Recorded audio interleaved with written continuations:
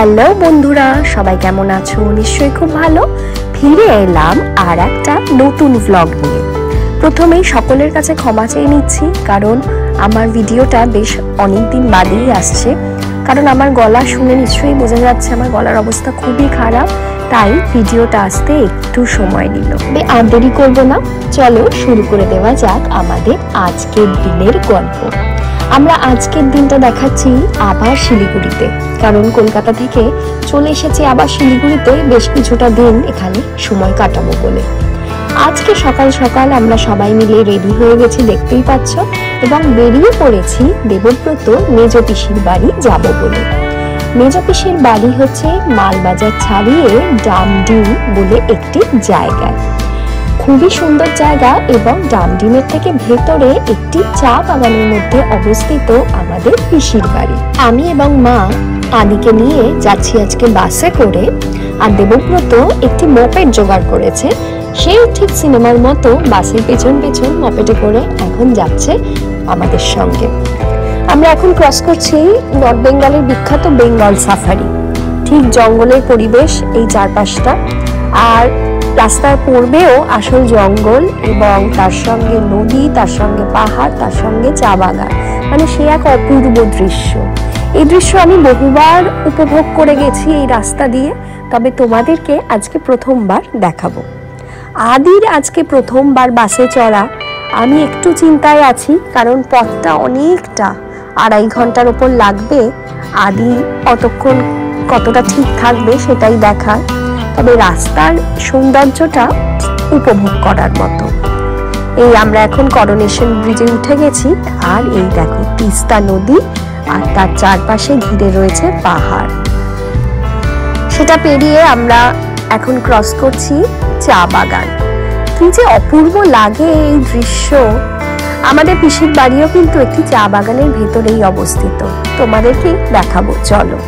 এখন ক্রস করছি ঘন জঙ্গল।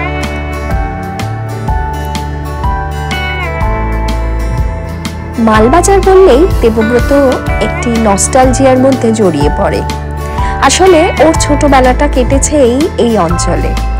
ওর স্কুলও ছিল এই মালবাজারেই। আজকে প্ল্যান আছে ওর স্কুলটাও তোমাদেরকে দেখাবো। এখন আমরা নেমে পড়েছি ডামডিম স্টপেজে ওখান থেকে একটি টোটো করে এখন যাচ্ছি পিসির বাড়ি। এখান থেকে মোটামুটি এই মিনিট কুড়ি মতো লাগবে। এইখানে যতবারই আসি, আমার মন ভরে যায়। এত শান্ত, শীতল পরিবেশ, নিরিবিলি জায়গা, ভীষণ সুন্দর লাগে। মন, প্রাণ একদম ভরে যায়। আর চা বাগানের মধ্যে বাড়ি তো আরও অপূর্ব লাগে। এখানে কিন্তু প্রায়শই হাতি বের হয়।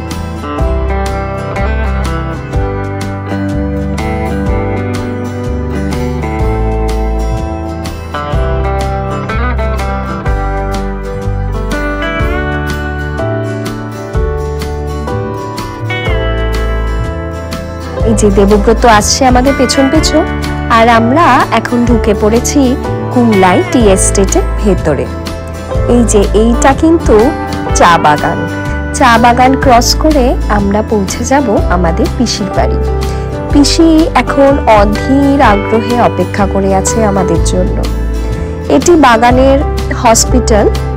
হসপিটাল ক্রস করে আমরা ঢুকে পড়ব পিসির বাড়িতে।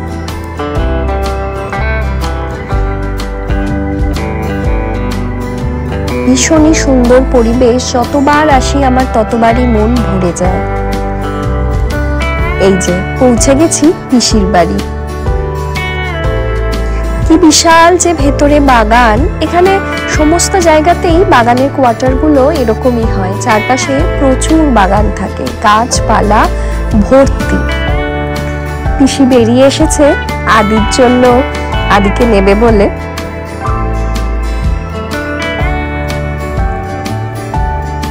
এই দেখো, গাছের কলা রয়েছে, পাড়া। এই যে আমার দেওর বেরিয়ে এসেছে।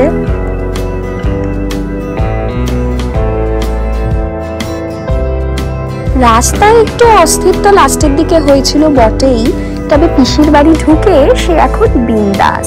আদি এখন মনের সুখে চারপাশটা ঘুরে বেড়াচ্ছে।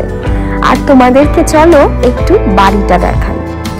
যে বারান্দাটা, এটা আমার ভীষণ প্রিয়, এত বড় খোলামেলা বারান্দা।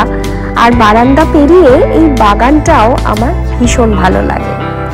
এখানে যে কত গাছ আছে, আর এখানে আসলেই পিসি গাছের লেবু, কলা, আরও যা যা হয়ে থাকে সবই আমাদের দেয়। আর সঙ্গে চা বাগানের চা তো রয়েছে।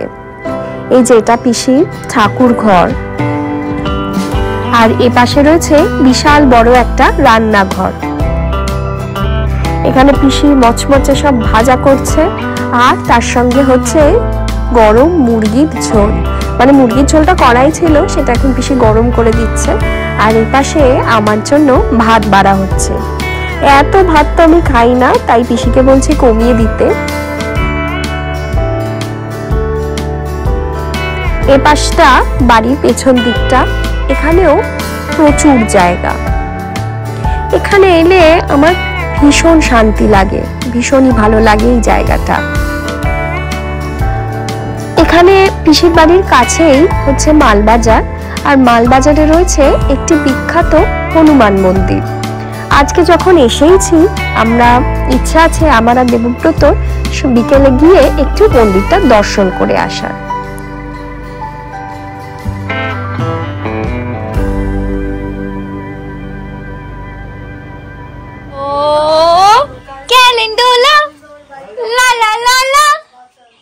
বড় ক্যালেন্ডোলা। লা লা লা লা। এসো। পিসি আমার খাবার নিয়ে চলে এসেছে। কত কিছু যে আয়োজন করেছে নিজে হাতে ছিল ভাত ব্রকলির তরকারি মাছ ভাজা গরম মচমচে কুমড়ো ভাজা এবং সঙ্গে মুরগির ঝোল। পেট ভরে খেয়ে দে বিকেলবেলা আমি আর দেবব্রত বেরিয়ে পড়লাম হনুমান মন্দির দর্শন করতে। এই যে এটি হচ্ছে কুমলাই টি এস্টেট, এইখানে কিন্তু আমার দেয়ও চাকরি করে। আমরা এই টি এস্টেট পেরিয়ে এখন যাচ্ছি মালবাজার টাউনের দিকে। মালবাজার টাউনটা বিশাল বড়। অনেক দোকানপাট এখানে রয়েছে। এবং দেবব্রত স্কুলও এখানে আর হনুমান মন্দিরও এখানে। চলো সবই আজকে তোমাদেরকে দেখাবো। অনেকদিন বাদে দেবব্রতর সঙ্গে সেই বাইকে বেরোনোর অনুভূতিটা আবার হচ্ছে। এর আগে তো প্রায়শই আমরা বেরোতাম, তবে তখন ভিডিও করতাম না, সেটাই আমার আফসোস। নয়তো তোমাদের সঙ্গে সবটাই তখন থেকেই শেয়ার করতে পারতাম। আমরা এই ঢুকে পড়েছি মালবাজার টাউনে এইবার যাব হনুমান মন্দিরে প্রথমে, তারপরে যাব দেবব্রত স্কুলে।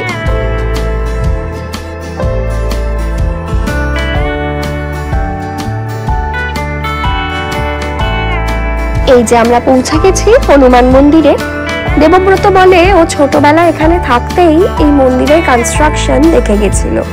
বহু বছর লেগেছে এটা তৈরি হতে। মন্দিরের ভেতরে আমি আর ভিডিও করিনি, কারণ সেটা অ্যালাউড ছিল না। তবে মন্দিরের কারুকার্যটা খুবই সুন্দর। খুবই জাগ্রত এই মন্দির, এখানে যেই আসে একবার করে এই মন্দির দর্শন করে যায়। এই হচ্ছে মন্দিরের দর্শনের সময়। খুব ভালো লাগল এবং মন্দিরে ঢুকে আমি প্রসাদও পেলাম। এইখানে কাছেই একটি মেলা হচ্ছে। তবে আজকে আর ঢুকবো না, কারণ আদি বাড়িতে রয়েছে। আবার আমাদের বাড়িও ফিরে যেতে হবে। এই যে মেলা, কতদিন যে যাইনি কোনো মেলাতে, ইচ্ছা থাকলেও এখন উপায় নেই। এই যে এখন আমরা চলে এসেছি দেবব্রত স্কুলের সামনে। এটি হচ্ছে মালবাজারে বিখ্যাত সিজার স্কুল। প্রচুর নস্টালজিয়ার মধ্যে এখন দেবব্রত রয়েছে। ছোটবেলার সমস্ত গল্প এখানে বলে। এবং ওরা থাকতো এই কাছে একটি কোয়ার্টারে সেটা আর আজকে আমাকে নিয়ে গেল না, তবে আগে আমাকে এই জায়গাটা দেখিয়েছে। এখানে দেবব্রতর এক একটা বিখ্যাত বিখ্যাত কাহিনী রয়েছে, খুব শান্ত ছিল তো ছোটবেলায়। তো যাই হোক এই হচ্ছে দেবব্রতর স্কুল ভবিষ্যতে কখনো আদিকে নিয়ে এসেও দেখাবো। এখন চলে এসেছি বাড়িতে, ফিরে দেখি পিসি মুড়ি আর রসগোল্লা দিয়ে আদিকে খাইয়ে দিচ্ছে। আদিও বেজায় খুশি। তবে রাত্রে এখন আমরা বাড়ি ফেরার সময় আর বাসে করে ফিরবো না। অবশেষে একটি গাড়ি বলা হয়েছে। তবে গাড়ি করে যখন ফিরবই, পিসিকে আমরা ধরে বেঁধে আমাদের সঙ্গে নিয়ে যাচ্ছি। কদিন আমাদের সঙ্গে একটু থেকে আসবে বলে। আর আমার দেওরকেও বললাম আসতে, তবে ওর অফিস আছে বলে আসতে পারবে না। তবে কিছুদিন বাদে এসে মাকে নিয়ে যাবে। আমাদের খুবই ভালো লাগল একটা দিন। আমার তো এখানে আমি যতবারই আসি, ততবারই মন ভরে যায়। আর সব থেকে আনন্দ হচ্ছে পিসিকেও এবার আমরা সঙ্গে করে নিয়ে যাচ্ছি। এটাই আনন্দ। আর আদি কিন্তু দারুণ সার্ভিস দিল। প্রথমবার অত ঘণ্টা বাসে, সে কিন্তু বেশ ভালোই ছিল। আর সারাটা দিন আমাদেরকে অ্যাজ ইউজুয়াল মাতিয়ে রেখেছিল। ছোট্ট করে আজকে তোমাদের সঙ্গে এই দিনটা শেয়ার করলাম। আশা করি তোমাদের ভালো লাগল। তবে আর দেরি করব না। আর একটা নতুন ভিডিও নিয়ে আমি খুব তাড়াতাড়ি ফিরে আসব। তোমরা সঙ্গে থেকো এবং দেখতে থেকো আর খুব ভালো থাকো। টাটা!